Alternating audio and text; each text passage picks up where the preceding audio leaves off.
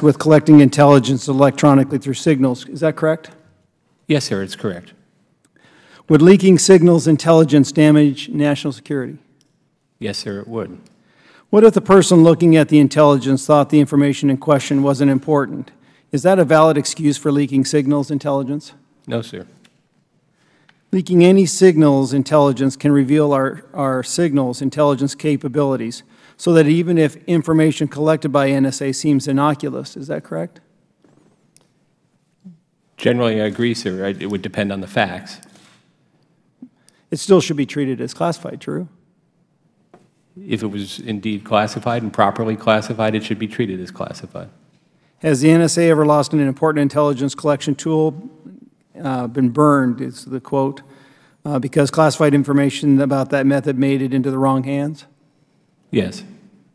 Would you say that someone who treats NSA signals in- intelligence exceptionally carelessly should be trusted with a security clearance?